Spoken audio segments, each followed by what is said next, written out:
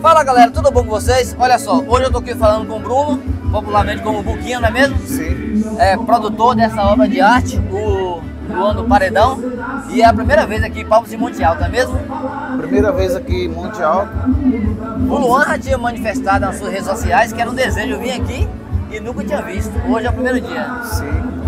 Hoje é a primeira vez que a gente vai estar aqui e com certeza vamos fazer um trabalho bacana, deixar o público todo mundo satisfeito aí, para voltar várias vezes, né? Não ficar só na primeira. Agora, conta um pouco a história desse paredão, como surgiu, como o Luan tirou essa ideia. Rapaz, essa ideia do paredão é porque o Luan sempre né, gostou de som automotivo. Sim. Então, já vem de, muito, de muitas longas datas, de coisa de 20 anos atrás aí. Desde quando ele tinha uma bicicleta, ele já tinha som nessa bicicleta dele, entendeu? E Deus ajudou, iluminou o cara.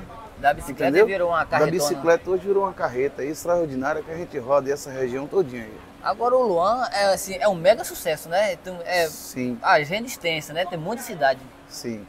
Além disso, o caminhão de Luan hoje não é um paredão qualquer. Sim. O som de Luan hoje é um som que já é considerado uma atração, Sim. né? Aí o som de Luan hoje tem energia própria, gerador. O som de Luan tem também aí é, camarim com ar-condicionado. O som vem equipado também com iluminação, fumaça, show pirotécnico.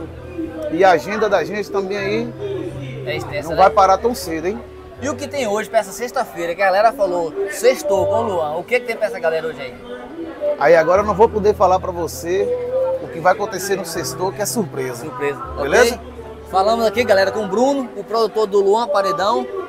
E que esse sucesso, essa máquina, boa sorte e que muito sucesso pra vocês. Valeu? Obrigado. viu? Valeu, pai.